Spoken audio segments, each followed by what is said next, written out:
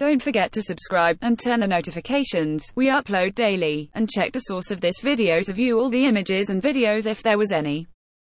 Barack Obama served two scandal-plagued terms in the White House. But one controversy undercut Obama's entire image.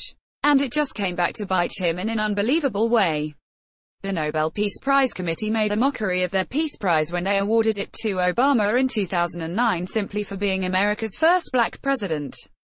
Even though Obama had already escalated the war in Afghanistan and launched a new war in Libya, which led to the death of the Muammar Gaddafi and set in motion the chain of events that ultimately resulted in the death of four Americans in the Benghazi terrorist attacks, it did not stop Obama from receiving awards for his supposed commitment to peace. And now Obama has been named one of the Robert F. Kennedy Human Rights Ripple of Hope laureates, which is awarded to laureates who have sent forth countless ripples of hope to millions of people inspired by their example. But this award forces an examination of Obama's record on human rights, and the nation's 44th president falls far short as a champion of that cause.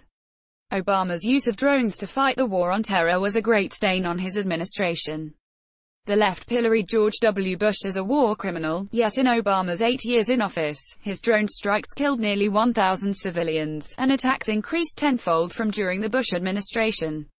The Bureau of Investigative Journalism exclusively reported, there were ten times more airstrikes in the covert war on terror during President Barack Obama's presidency than under his predecessor, George W. Bush.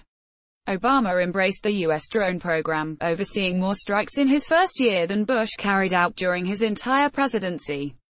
A total of 563 strikes, largely by drones, targeted Pakistan, Somalia, and Yemen during Obama's two terms, compared to 57 strikes under Bush. Between 384 and 807 civilians were killed in those countries, according to reports logged by the Bureau. The use of drones aligned with Obama's ambition to keep up the war against al-Qaeda while extricating the U.S. military from intractable, costly ground wars in the Middle East and Asia.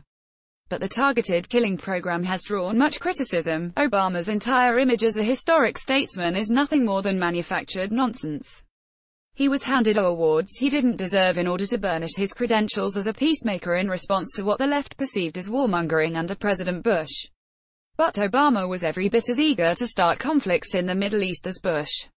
This sham award Obama is receiving is bringing his horrendous record on killing innocent civilians back into the spotlight. When Obama was president, critics argued he functioned like a state-sanctioned serial killer when he personally presided over a kill list of targets to drone bomb.